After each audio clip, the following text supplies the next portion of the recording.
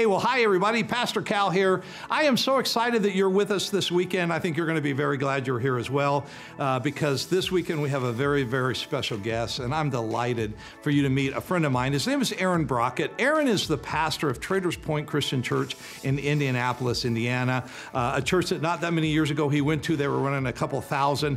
These days they run about 10,000. They have four different campuses, opening more, and it's just an exciting ride that this man has been on as he's led this church. Well, he and I have become friends, and, and uh, well, I got to actually preach for him a, a couple of months back. I, I, preached in Indianapolis, and, and it was snowing. He brought me in in the middle of a blizzard. So I wanted to return the favor and bring him in the middle of our summer, but his schedule wouldn't work out. Yeah, right. And so this is as soon as I could get him. So it's hopefully still hot enough for him to experience Arizona. And here's what I want you to do I want you to give Aaron an incredibly warm Arizona welcome. You know the drill. We want him to feel at home. So, church, would you welcome my friend Aaron Brockett? Hey, Central family. Hey, thank you. Thank you so much for that. Hey, I was actually really available. I just told him I wasn't. All right. Uh, Hey, it is uh, so good to be with you, Central Family. I have heard so much about you, and I love your pastor. Uh, Cal has been such a, a, friend and a mentor to me and an encourager. And uh, I feel like uh, this is kind of like home away from home uh, just because of the impact and the influence that your church has on us and churches all over the world. So it's a real thrill for me to be able to be here with you. And uh, I know that, um, I know kind of how this goes. Like, I know you, you came to church today and you walked in and you found out that it was a, a guest speaker. And like you didn't know that until you came in. And I know, like, I don't know, maybe you're just kind of thinking, I don't know if I'm excited about this. Like, it's sort of like, I don't mean to be weird about this, but it's almost kind of like a blind date, right? Like, we're kind of stuck with each other for the next 30 minutes. And to be honest, some of you are going, I don't know if I like you. And, uh, you know, and, and so uh, I get that. And so I want to break the ice a little bit. And I brought a picture of my family just so you get to know me a little bit better. Uh, this is uh, my wife, uh, Lindsay, and our four kids. Uh, my wife and I just celebrated our 20th wedding anniversary this past summer. And so thank you for that. Uh, yes, yes. Uh, please uh, pray for her. And uh, and then we've got my my three kids. My son Connor, he's 17, and then our, my daughters uh, Campbell, Kennedy, and Cadence. They're 15, 12, and 7. I don't expect you to remember their names and ages, but I wanted to show you just a picture of, of my my kind of crew here. And uh, I had one of these like kind of milestone dad moments uh, not long ago. Just a few weeks ago when school started back up for us because my uh, son's a junior and my daughter's a freshman in high school, and they go to the same high school, and he's driving now. And so I had this like moment where I'm standing in the driveway watching them pull out uh, as they drive themselves to school now. Any of you had that experience? Isn't it such a frightening, uh, moment because like you you can't be with them you can't control things like you're totally trusting that they're going to be responsible and they're not going to get distracted while on the road and and so i find myself like uh, super super grateful for all of the safety features inside the car that i normally take for granted as well as some of the safety features along the roadways that are designed to keep us all safe, including uh, something called a rumble strip. You know what a rumble strip is? You, you probably have been aware of it. You've probably felt them or heard them before, but it's the sort of like the, the divots that are on the sides of the roads. I want to read you the technical definition of a rumble strip. I had no idea that it was this extensive, but here it is. A rumble strip, also known as sleeper lines, alert strips, audible lines, sleep bumps, wake up calls, growlers, drift lines, and drunk bumps are a road safety feature designed to alert inattentive drivers of potential danger by causing a tactile vibration and audible rumbling transmitted through the wheels into the vehicle interior. A rumble strip is applied along the direction of travel following an edge line or center line to alert drivers when they drift from their lane. And so, what rumble strips are is that they're on the sides of the roads and they, they, they give you enough uh, of a margin to know that you're beginning to drift. Like a rumble strip isn't all the way to the edge of the pavement because that'd be by the time you hit it, it'd be too late to make the adjustment. And they're designed to actually get you from where you are to where you need to be. And we've all probably had that experience, maybe uh, on a long road trip. Maybe we're driving through the night trying to get somewhere on vacation. Maybe it's just our daily commute and we take our eyes off the road for maybe just a split second and then we feel the sound and we feel that vibration of a rumble strip and it alerts us to potential danger. Now, here's one of the things that God is really uh, driving down into my life here lately is that not only do we need rumble strips on the road, we also need them in life. And I would say that God lovingly places rumble strips in our lives um, they are the principles that are found in His Word, as well as the promptings given to us by His Spirit. And they're designed to keep us on the road and get us down the road to where we need to be. In fact, the Bible never uses that term rumble strip, but it actually gets at that point a lot through the scriptures. In fact, uh, in the wisdom literature of the Bible, the book of Proverbs, it says it this way in chapter 4. Starting in verse 10, it says, My child, I love how uh, tender that is. Listen to me and, and do as I say, and you will have a long, good life. I will teach you wisdom's ways and lead you in straight paths. And when you walk, you won't be held back. And, and when you run, you, you won't stumble. Take hold of my instructions. Don't let them go.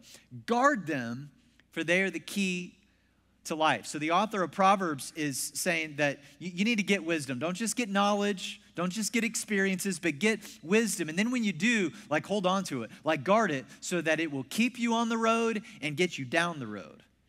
And we all need rumble strips in various parts of our lives. I know that for me, some of the greatest moments of regret for me have come when I've overlooked or dismissed or ignored the rumble strips, whether that's like a financial thing or a relationship thing or maybe like a personal discipline thing. And so here's the question that I just kind of want to lay out uh, for all of you today, just to kind of think about in your own life is Am I paying attention to some of the rumble strips that God has lovingly and intentionally placed in my life? Now, uh, this can come through like uh, personal conviction. Maybe it's like uh, when you're, you're uh, aware of, maybe your, your conscience is kind of bothering you, it's the Holy Spirit convicting you of something. And I want to be super clear that, that God doesn't lay down rumble strips in our lives to make us feel bad about ourselves or to limit uh, the lives that we've been given. It's the exact opposite. God places rumble strips in our lives to maximize the lives that we've been given. In fact, Jesus would one time say it this way in John chapter 10 10. And, and some of you may know this passage, but I want you to imagine you, you've never heard this before. And these are the words of Jesus. He says simply this I have come to. And if you were not familiar with John 10, and maybe some of you aren't, uh, how do you think Jesus might finish that statement? Like he could have said, I have come to, you know, save you from your sins, which would be true, but that's not what he said there. I, I have come to, you know, teach you some good morals, uh, which would be true, but it's not what he says here. Or he could have said, I've come to make you religious, which he never said. Uh, he could have said, I've come to tell you to go to church. He didn't say any of that. Here's what Jesus said Jesus said, I've come to give you life to the fullest. It's one of my favorite things that Jesus said. In other words, Jesus is like, I want you to have more joy. And I want you to actually uh, feel like you're maximizing this life that you've been given. But I want you to stay on the road. Like, I don't want you to run off the road and run your relationships, your finances, your health, or your spiritual life into a ditch. So, uh, this uh, past summer, I was uh, in Germany visiting a church that we partner with. And uh, I got to mark one of the things off my bucket list. Uh, my German friends uh, took me out on the Autobahn. And uh, I don't know if you are familiar with what the Autobahn is. Uh, a few of you are kind of responding to that, so it tells me that you, that you know. Uh, but for those of you that don't, it's a, a stretch of, of road that runs throughout much of Europe in which large portions of it there is no speed limit as God intended, all right? And uh, it's an amazing, amazing thing. Now, uh, my friends take me out on the Autobahn, and I was not driving, I was in the passenger seat. Uh, and I don't want you to judge me. Actually, you shouldn't judge me because this was totally legal. We were going 130 miles an hour. Now, because it was legal, it wasn't as much fun. All right, so that tells me something about my twisted up nature. But we're in, and we were in a VW Golf, which kind of cancels it all out, all right? but it was amazing. We're driving down the road doing 130 miles an hour. And so I said to my German friends, I said, uh, So are there very many accidents on the Autobahn? And what they said surprised me. They said, Not as many as you would think, but when there are, they're pretty bad. Now, I want to say it this way like, God has given you and me a V12 engine. Now, if you don't know what that is, it's just a really big engine. And God wants you to run your life. God wants you to live. That's what Jesus is saying. Man, live to the fullest. Man, maximize your relationships, maximize your talents, your abilities. I want you to live a life full of joy, but I want you to stay on the road. I want you to get down the road. I want you to go where I've intended you to be. And so God places these rumble strips in our lives, principles and promptings. Here's the other thing, though God places people. It's principles, it's promptings, it's people in our lives to get us down the road. In other words, you, you can't do this by yourself, and neither can I. So I want to show you a couple of pictures. Um, this uh, right here is a 1987 Chrysler LeBaron. This is the first car that I ever drove when I was 16 years old. May it rest in peace. And uh, this car, uh, the person or the friend that rode shotgun with me the most when I had this car was a friend of mine by the name of Kyle. And Kyle and I actually have been friends since we were really small. We're still friends to this day. And it's one of these very kind of rare friendships in which we have just been friends through various seasons of life. We're not related, we've just stayed in touch. And, and uh, our friendship really bonded during the time I, I had this car. We had a lot of fun in that car. Actually, this uh, car had a, a, manual sunroof in it. You remember those? Some those of you that are old enough to remember, and, and you had to like manually take it out and it, it was the 1990s were a strange time all right? And so we, I, w- I would take the whole thing out and kind of pretend like i had this like nice little sunroof. And i remember one time uh, kyle and i were out on this two lane country road. Nobody was around for miles. And kyle jumps up on the hood sits on the hood his feet are hanging down inside the sunroof. And i didn't want to miss out on the fun. And so please don't judge me for this. I think the statute of limitations is in effect here um, but I uh, set the cruise control and jumped up on the roof with him and steered with my feet, all right? The frontal lobe wasn't fully developed yet, all right? I still don't even know if it is, okay? Uh, but we had a lot of fun and in that car. Now, uh, God, uh, when I think about my friendship with Kyle, I, I'm so grateful to him because uh, God has used my friendship with him to uh, encourage me whenever seasons were really, really difficult I wanted to throw in the towel. He, uh, there's a passage in Proverbs that says, as iron sharpens iron, so one man sharpens another. I'd say that's, that's Kyle. Let me show you another picture. This is a 1991 Pontiac Grand Am. That uh, I actually, the one I drove looked exactly like that. And uh, I had this when I was in college. And the friend that rode shotgun with me the most when I had this car was a friend of mine named John. And uh, we lived on the same dorm floor. John was uh, hands down uh, the most intelligent uh, friend that I've ever had. He could speak intelligently to any subject, and uh, he maybe loves Jesus in uh, ways that uh, I've never really observed anybody else doing. Like, it's just so admirable the way that John loves Jesus and loves people. And John and I, one, one Friday night, or often on a lot of Friday nights in college, we would cruise Main Street in this car. And there was this uh, religious fundamentalist group that would usually stand on the street corner and they would yell at people. And they would have signs that would like say, You're, you're going to hell. And it made John so mad that he would say, Brockett, pull the car over. And so I'd pull the car over right in front of this group, and John would roll the window down and he would begin to engage with them. And then he would often get out of the car and he would engage with them on the sidewalk and he would totally dismantle their misuse of Scripture. It was a beautiful thing to see. And uh, I did not have a whole lot to contribute to the interactions. In fact, I would like kind of stand there and I would just like, wa- I would listen to him and listen to them. I would be like, And then John would go, Aaron, do you have anything to contribute? And I'd be like, I think you probably covered it. Sounds pretty good. Want to go get some tacos? Like, that's about all I could contribute to the interaction. Uh, but here's what, uh, here, here's the thing you need to know about all that. Like, some of you that are like conflict averse, like, even just me mentioning all that makes you like your stomach twist in knots.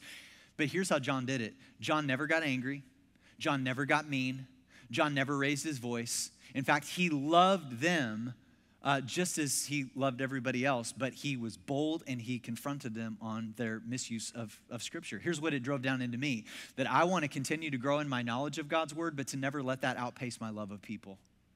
It was, it was God used that friendship to instill that in me. I want to show you one more. This is a 1997 Honda Civic. Uh, and the person that rode shotgun with me the most when I drove this car uh, was the girl that became my wife. And so we, when we met, started dating. This is what I drove. We got engaged in this car. We got married in this car. So clearly, she married me for my money. And uh, this car had an interesting little defect. Um, it, it, had a little plug. I don't even know what it was, but it was like a little plug in the engine that would, because of the vibration in the road, it would slowly come unplugged. So about one out of every 10 times I would get in the car and turn the key, nothing would happen. And then I figured out that you need to just plug it in and and it would start. So I had a lot of fun with that. And so uh, whenever the car wouldn't start, I would just sort of go with it. Like Lindsay would be with me, and I would just look at her and I would say, let me take a look. And so I would get out, pop the hood, and I'd kind of get underneath her. I'd go, try it now, honey. And she'd try it, still nothing. All right, let me check the flux capacitor. All right, and so I, and I get under there, kind of, you know, move the car around, and I'd just plug it in. Let's try it now. She'd start right up. And she thought I was like a mechanical genius throughout all our dating year, or throughout our dating years and, and getting married until we got married. And then she found out that I'm a knucklehead. And, uh, but God has used, like I, I, mentioned to you earlier, that we've celebrated our 20th wedding anniversary. And um, I can't talk about this too long. I'm going to tear up. God has, has used uh, her um, more than any other human being on the face of the planet uh, to speak into my life. In fact, I would even say that her voice sounds an awful lot like the voice of the Holy Spirit. I'm beginning to not be able to discern the two because when she speaks, like not only does she build me up and encourage me, but she also says a timely word to confront me on some things that I need to be aware of. And I'm so, so grateful for that relationship because she keeps me on the road and moves me down the road. Now, here's the reason why I took you through a history lesson through my automotive background. All right, some of you are like, thank you for this, but we didn't ask you to do all this. Hopefully, at some point, as I'm taking you through these cars, because, you know, what we drove can, can be kind of memorable, is that you're doing the same thing. You're thinking about maybe some of the cars that you've had in your in your life and who was in the car with you. Who was riding shotgun in your life? And I hope I hope that you can recall some friendships and some relationships in which God used that individual to keep you on the road and to get you down the road because God is always bringing people into and out of our lives to grow us. And I don't think this is an overstatement, like without exception. Like you look at God's word, there was nobody running solo. They were always sent out in groups, they were always sent out in pairs. And Jesus himself had, it's amazing to me that he would come to this earth and then gather 12 imperfect, ordinary people to do life with. Even though they were imperfect, even though he knew, this, this blows my mind every time I think about it. When the day that Jesus asked Judas to follow him, he knew Judas would betray him. And he said, I, I, still, want, I still want you to be in my life. That's amazing to me. So here's the question that I just want you to kind of grapple with a little bit Whom has God placed in my life at the right time for something that I need to give? and receive. And that's the key to all of this. Is that meaningful relationships aren't just give, give, give, and some of you that's what you do. And it isn't just take, take, take, and some of us that's what we do, but it's give and take. Look at what Solomon says about this in Ecclesiastes chapter 4, 9 through 12. He says, Two people are better off than one, for they can help each other succeed. If one person falls, the other can reach out and help. But someone who falls alone is in real trouble. And likewise, two people lying close together can keep each other warm, but how can we be warm alone? A person standing alone can be attacked and defeated, but two can stand back to back and conquer. Three are even better, for a triple braided cord is not easily broken.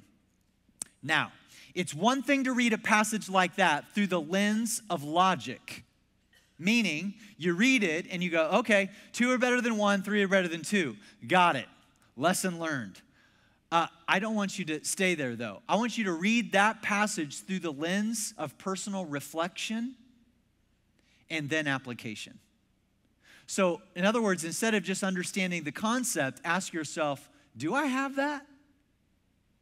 Like, like do, do I have that in such a sense that if I fell in some way, would anybody outside of family even know? Are they close enough to me that they could lend a hand to help? And I could lend a hand to help them. Uh, maybe, maybe I could like say it this way like, who's your ride or die? You know that term? Like, this is a slang term that basically means, hey, we are so close, we're so tight that we will ride out any problems in this life or we will die trying. And I don't know, maybe it's two or three, maybe it's five or six people like that. Jesus, as I said, had 12.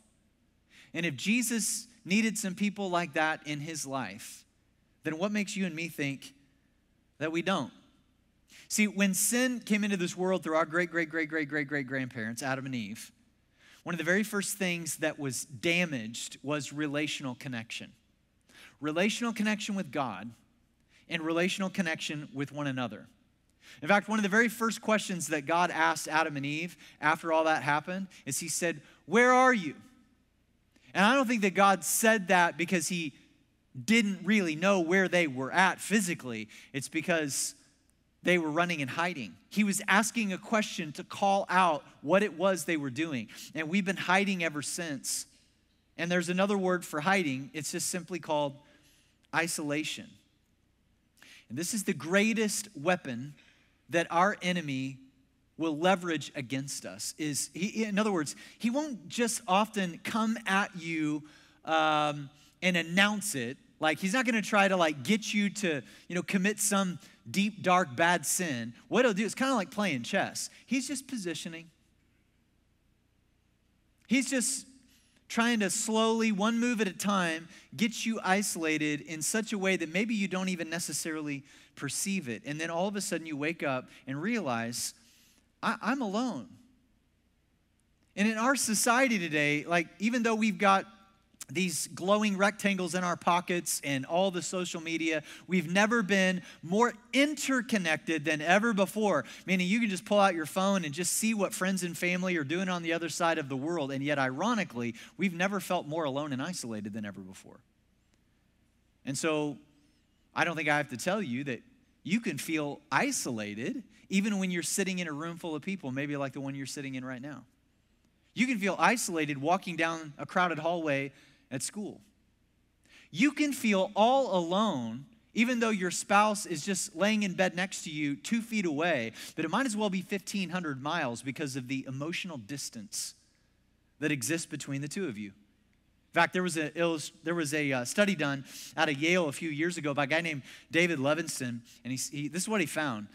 He said only six out of 10 women say that they have close peer relationships that are marked by openness and mutual commitment. Six out of 10 women say that they have that in their friendships, but only one out of 10 men say that they have it.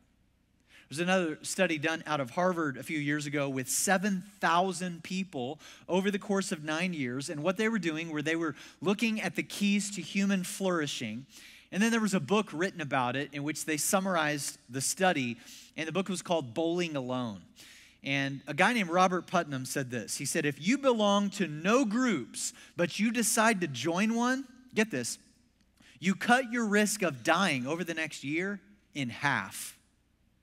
Which is why I think Central is thinking about changing their group slogan to get in a group or die. But I don't think it's gonna work, all right? But I don't think it's that far off. According to what Putnam says, he says that social isolation is as big of a risk factor for premature death as smoking. And our emotional and spiritual health is just as much at risk. You see, here's why we flourish as human beings when we are rightly connected to God. And that word rightly is so important. In other words, it's not religion. Religion is my effort to get to God. And God said, No, no, no, no, no. I've actually done what is required to reunite us through Jesus. It's the gospel. It's very different. And so I'm rightly connected to God by understanding what uh, Jesus, who Jesus is and what he's done for me. And the same thing is true, rightly connected with one another, meaning that there is giving and receiving. And when we are rightly connected with God and rightly connected with one another, then there is power in that. And there's also power in isolation, but it's, it's not the good time, kind. See, whenever I'm isolated, uh, I just want you to know, some of you, maybe you can relate to me. When I feel isolated, uh, I'm more prone to temptation. When, I'm, when I feel isolated, even though there's other people around, I'm more discouraged. I can get disillusioned. I can create false narratives in my mind. In other words, we have an interaction. I'm like, man, what, what did they mean by that? Why did they say that to me? And all of a sudden, I create this narrative in my mind that is not true. And it's even toxic. And I begin to rehearse that. And there's nobody there that can actually help me sort through it. When I feel isolated, I spend money more foolishly. I relapse into destructive habits that I previously thought that I had overcome. I know that for me, it is a big red flag when the only voice that is comforting and consoling and counseling me sounds an awful lot like my own. Because I know that I'm not necessarily listening to other people, I'm just talking to myself. You ever watch those uh, nature shows where the lion is attacking the water buffalo? And the lion is smart. Like the lion knows not to attack the water buffalo when it's in a herd, but he waits until a water buffalo wanders off from the herd. And then when he knows that's happened, he knows that he can go in for the kill. And I would say that uh, this is exactly what our enemy does. And he is stronger than you and he is stronger than me. But the good news is is that he is not stronger than us. And there's a reason why God brings us together. And there's a reason why there's so many passages that speak to us being together in relationship and in community. And my fear is that more and more, especially in the Western world, is that as believers, we begin to like individualize our faith and we begin to think, well, God knows where I stand with Him, and my faith is, have you ever said this? My faith is deeply private. And so I can follow God in isolation. I can believe in God and just listen to uh, you know, sermons or podcasts on my phone. I don't need to go to church or be a part of church or serve or get in a group. And this is really widely common. In fact, there's a statistician by the name of Ed Stetzer, and he interviewed a whole bunch of Christ followers. And this is what he found: found that only 21% of believers Right, so we're talking about Christ followers here. Only 21% say that they need to connect with others in order to grow in their relationship with Jesus. I about fell out of my chair when I read that stat. That the majority of us think that relationships are optional when it comes to discipleship, when it comes to growing. 65% say they keep their personal struggles to themselves. And I just want you to know that your faith, yes, is deeply personal, but it was never meant to be private. Th- that's a foreign concept in God's word. And some of you might be arguing with me right now uh, to yourself, which are the best kind of arguments, by the way, because you always win. And uh, some of you might be like, well, how do you figure, Aaron? And, and I could just point you to a couple things. Uh, one of them are the very words of Jesus right before he left to go back to heaven. He said in Matthew 28, part of his Great Commission statement to us, at least a portion of it said this Go and make disciples of all nations. That's one of the things he told us to do. Question How do you do that privately? How, do you do that when you're all by yourself? Like, you can't. We could go uh, Proverbs 18. Whoever isolates himself seeks his own desire. He breaks out against all sound judgment. In other words, I, I, I just, I only, I don't, I don't want to hear what you have to say. I just want to do what I want to do. We could go Hebrews chapter 10. Let us not neglect our meeting together. This is what we're doing right now, as some people do, but let us encourage one another, which I would say is the primary reason why we gather together. Uh, the author of Hebrews would go on to say, let's stir each other up. Let's encourage each other. Why? Because I bet you something happened this last week that was deeply discouraging to you. And God always uses people to stir us up and to keep us on the road and get us down the road. We could go 1 Corinthians 12. All of you are Christ's body, and each of you is a part of it. There's an old African proverb that says this if you want to go fast, then certainly go alone. You want to go far? Then go together. So, several years ago, I was uh, about halfway through message on a weekend, and I noticed that this man came into the back and sat in the very back row and kind of crossed his arms and uh, did not look very happy to be there. And uh, I immediately like was just sort of like watching him as I'm preaching the message because uh, he just stood out. Meaning, uh, he was very big and muscular. He had a shaved bald head uh, two big gold loop earrings. He had tats on uh, all both of his arms, all the way up and down, totally sleeved out. And uh, I was like, man, I want to meet that guy. and I'd never seen him before. So as soon as I got done preaching, I ran off stage and then uh, it was in a full wind sprint uh, to the door that I know people exit out of who don't want to talk to the pastor. Oh, you may think we don't know, but we know. You're not fooling anybody. And I will see you there. All right. So, uh, so I go, I run, I get to the door, and uh, sure enough, like I, now I need to tell you, he looked like Mr. Clean right? You remember the, guy on the cleaning bottle? Like he looked like he'd come to life, like right, stepped right off the bottle. So that's what he looked like. And he comes walking up to me, and he's, he's getting ready to walk out the door. And so I, I smile at him real big, and I said, "Hey man, my name's Aaron. It's really good to have you." And I kid you not, like he glanced at me, looked right past me, didn't acknowledge anything I said, just walked out the door. And I was like, "Well, that didn't go very well." Probably won't ever see him again. And uh, next weekend, about halfway through my message, Mr. Clean walks in sits in the back, crosses his arms, doesn't look any happier to be there. And I thought, okay, I'm just going to give him his space. And so I, uh, I'm out in the lobby talking to people, and he comes up to me. And he walks up to me, and this is what he said. He goes, Hey, you the preacher? And I was like, What tipped you off, Sherlock? Right? You're, you're sharp. And uh, I said, Yeah, I am. And uh, he goes, uh, he goes, Hey, I was wondering, like, do you pray for people? And I was like, Well, I've been known to, yes. And uh, he goes, Well, I was wondering if you might pray for me. And I, that totally shocked me. I was not expecting that due to our previous interaction. And I was like, Well, yeah. And I said, well, How can I pray for you? And he goes, Well, my girlfriend and I just broke up. She moved out of my apartment a couple months ago, and I just bought a house, and I'm closing escrow in about 30 days. But I just found out yesterday that my landlord isn't going to let me out of my apartment lease for another six months. And if he doesn't, then I'm in real financial trouble. And he goes, So would you pray that my blankety blank landlord would let me out of my blankety blank lease? And I said, uh, Man, I'd be happy to. Uh, I said, Could I pray for you right now? And he was not expecting that. He goes, Can you do that? And I was like, Just a second. yeah, we're clear. All right, we can do it. And so, so I said, Hey, man, what's your name? And he was like, Why does that matter? And I was like, It doesn't. It doesn't. Just stand here and I'll pray generally in this general vicinity. All right for you. All right, so so I so I'm praying, and I prayed that God would move in his landlord's heart and let him out of his lease. I cleaned up all the language, and then uh, while I'm praying, I just decided to slip it in there, and so I said, "In God."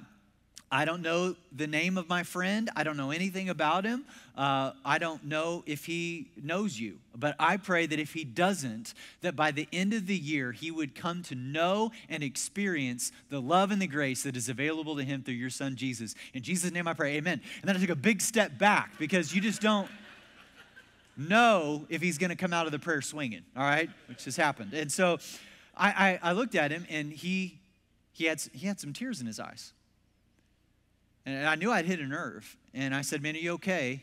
And he goes, I love this. He goes, Man, these allergies are killing me. And I was like, Yeah, I know how that goes. And so he he leaves next weekend, halfway through the message, comes in again, sits in the same spot, doesn't look any happier to be there. I can't get a read on him. And so I'm out in the lobby and he is walking up to me and he looks very, very intense. Like I just can't tell if he's in a good mood or a bad mood. But he gets up about maybe, I don't know, eight feet from me and all of a sudden uh, he gets this big, giant smile that just overtakes his big melon. And it's, the, it's a smile that I would get really familiar with over the course of the next few years. And he walks up and he goes, Bro, you're not going to believe this, but my landlord just let me out of my lease, man. And then he goes this. He goes, Dude, God listens to you. So I brought a list. Whips it out of his back pocket.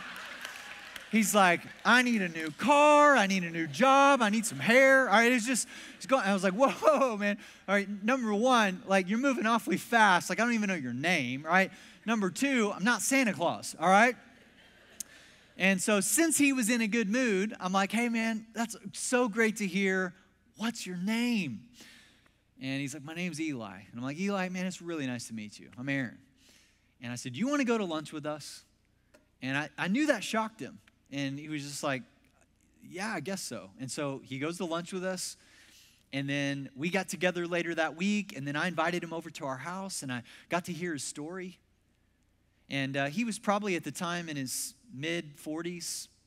And uh, he told me that he grew up in Hawaii and a very abusive home. And as soon as he was able, he joined the Air Force just to get out of that abusive environment. He had a 20 year old daughter that lived back in Hawaii that he didn't talk to very much. And his whole adult life had just been bouncing around from job to job, relationship to relationship, and he was just hurting and broken and alone.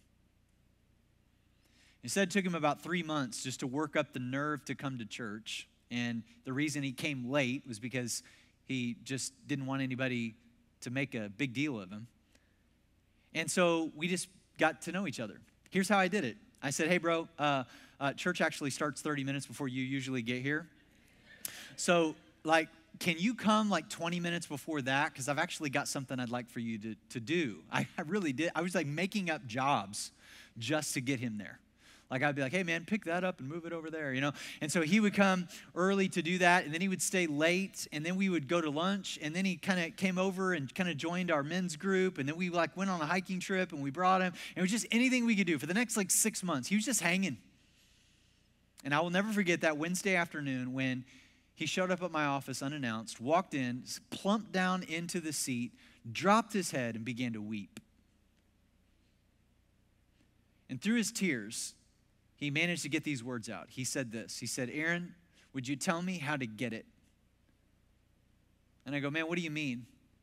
And he goes, Would you tell me how to get what you and the other guys seem to have? And I go, What do you think we have? And he goes, Well, I've kind of been around you for about six months, and I know you're not perfect. I know that. Thank you. Um, and he goes, But but you guys seem sure of yourselves, but you're also humble.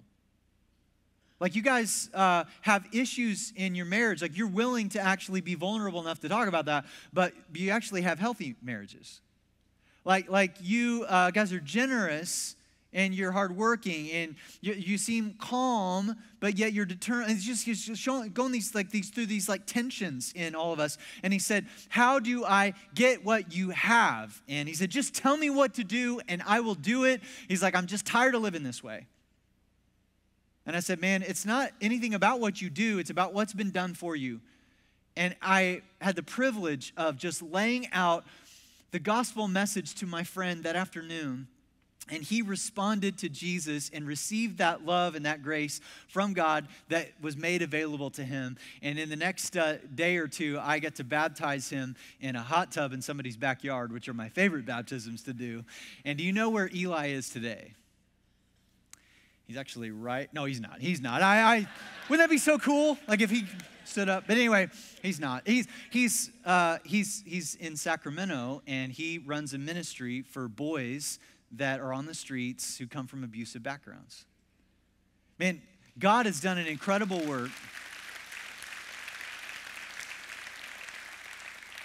In his life, get this, he didn't get there by himself. He, he needed others to, to help him stay on the road and get him down the road. And you know what? So do I, and so do you. And Jesus knew this, which is why one of the last things that he prayed over us in John chapter 13 was simply this. So now I'm giving you a new commandment. New commandment. All right, what is it? Here it is love each other. Is that it? That's it. Well, how do you want us to love each other? Just as I have loved you. You should love each other. Now, look at this next part carefully. Verse 35 Your love for one another will prove to the world that you are my disciples. That is an amazing statement. He didn't say, Your knowledge of my word will prove to others that you're my disciples. He didn't say, Hey, all of the acts of service that you do will prove to others. No, he said, The way you love each other It'll be so set apart in this divided world that people will look at that and go, that proves that there is a God. So here's the question How are we doing? Is that what we're known for? And I think you probably know that answer. So here's kind of the posture that we need to have as God brings people into our lives. You see, oftentimes, as God brings somebody into our life, we're a little nervous, right? Like our body language can kind of say buzz off. Here's what I want to ask you to do I just want to ask you to do this just be wide open. Like, hey, man, so nice to meet you. Let's, let's meet on a regular basis. Let's get to know each other. Let's do life together. And God brings another person into our life, and, and uh, we know that they're struggling. And we're like, hey, I just want you to know that I really appreciate the fact that you shared that with me. That was, uh, you got really vulnerable. I'm not judging you. I'm going to walk with you through it. And then it's not all like bad news. Like, you know, there are some people that we need to celebrate with them. Like, hey, man, I know that you've been praying for that for a really long time, and I just want to celebrate it with you, man. Just way to go, way to be faithful. And here's what's going to happen when you open yourself up. Like, they're going to get their mess all over you. And for some of you, you're going, uh, that's exactly why I'm actually don't want anybody in my life because because people are messy and they get their stuff. And that's one way to look at it for sure. Or you can look at it this way. You can actually say, "Hey, you you you marked me. Like I'm different because of you. Like I'm better because of you. You you brought some color into my life. Like this is a beautiful thing that, that God can take and He can redeem. I'm more like Jesus because of you. This is a work of art. It's not a mess. See, the goal of life isn't to get through to the end of the life with a clean t-shirt. The goal of life is to get through it knowing that you've been close enough to people that they've contributed to your life, they've shaped who you are, and you've shaped them as well. So, the way. So, Central Family, you want to prove to the world that we are his disciples? Man, love each other really, really well. Be open to the fact that God brings people into your life, and you know what? Those people might hurt you. God can still even use that. Because the greatest weapon that our enemy uses against us is isolation. So don't isolate. Don't isolate because God always uses people to grow people. Always. Let me pray for you. Father, we come to you right now, and I thank you for this church. I thank you for the way that they are changing this whole valley and the impact that they have around the world. And uh, God, I pray today that um, regardless of what it is that we needed to hear, because I know that not everything in this message, everybody listening to this, uh, applies equally. But I know that the way in which your spirit works is that you apply truth to our life in custom made ways. And so, God, whatever it was that somebody needed to hear out of this message, I pray that you turn the volume up on that and maybe the volume down on everything else, and that they would know very clearly that this is what you're trying to communicate to them to both challenge them and to comfort them. And so, God, I pray that we would meet with you uh, here in these next few moments and that we would apply the truth of this message to our life. We thank you for being such a good and gracious God who gives us people to keep us on the road and get us down the road. We ask this in Jesus' name. Amen. Thanks so much for having me. Love you guys.